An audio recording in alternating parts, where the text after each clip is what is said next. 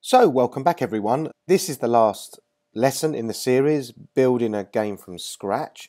Um, what we're going to do in this lesson is we're going to look at how we can just tidy things up a bit.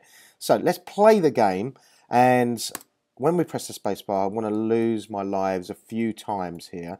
So let's just let's just do that. So there's a couple of problems here in that when the ghoul comes and attach me it loses all my lives because the ghoul doesn't go back to its original position. So that's one thing we've got to fix. The second thing, the second thing we need to fix is this game over screen. The game over screen is showing all the apples from uh, the first level. And the last thing is really um, going to level 2 and tidying things up in level 2. So let's stop the game and let's concentrate on the first thing first. So when we press the, the play button, our ghoul is going to attack our cat but at the moment, the ghoul just continues, and so every time the cat dies, you lose all the lives. And there you go, like just like so. So I'm just going to stop the game, and let's go back to our cat and have a look at the code. So to get the ghoul to go back to its original position, what we need to do is we need to add a new element into our code here. So what we're going to do, when the ghoul is touching, we've got here, if the ghoul is touching the cat, then we're going to play the sound, we're going to hide the cat, etc. So we also need to add something else in here. Okay, we're going to go to events and we're going to broadcast a message. So we're going to go in here and we're going to broadcast a new message and we're going to say kill ghoul. Okay, let's click OK. So we're going to broadcast that message. Now, what we want to do is when the ghoul receives that message, we want the ghoul to go back to its original position. So let's go down to the ghoul and click the ghoul. Let's go in here. And when I receive that message, we want the ghoul to go back to its original position. So go to, and then it's minus 189, minus 89 and minus 157. So let's try this now and see what happens.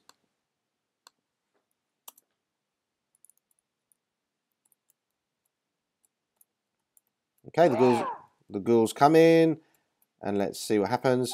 There we go. The ghoul go back to the original position. Let's try it once more. There we go. Okay, so just a, a, new element that we've added in there, a new piece of code, which is receiving and sending messages in order for another part of the code to work. So let's stop that now. So the next part of this then is to get rid of all of the apples and stuff. So let's just continue the game. There we go. Now we want all the apples to disappear. We want the score and the timer and the end note and the, the logo cat to disappear here. Okay, so in order to do that, let's go to the logo cat first. So let's go to an event.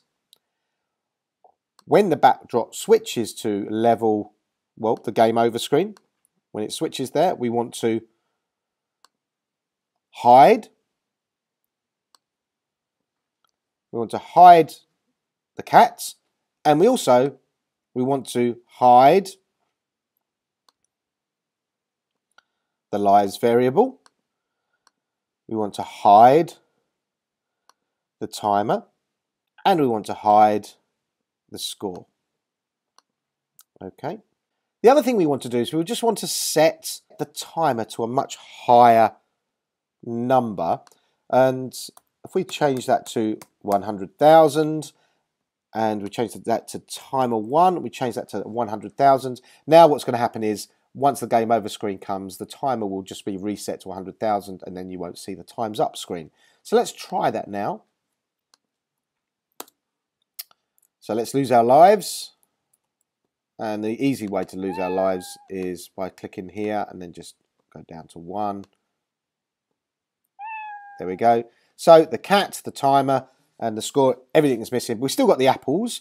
So in order to do this now, what we can do is just drag this into our code for the apples and the endpoint. So let's do that for the endpoint.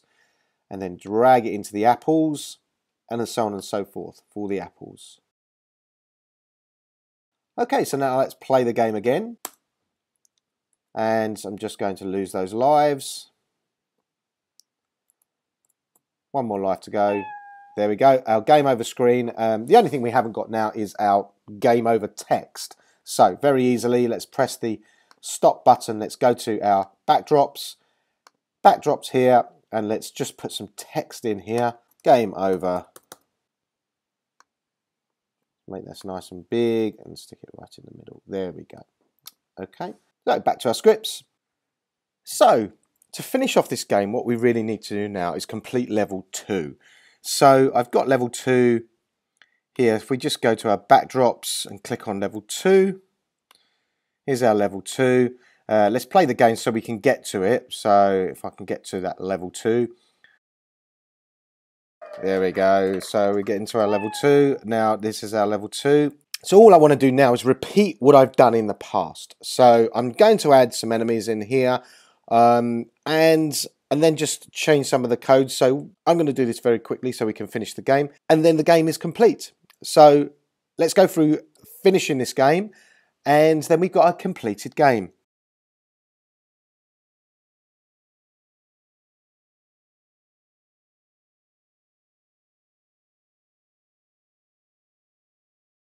Okay, so let's just play the game and see what happens now when everything is finished. So my first thing is to get past this ghost.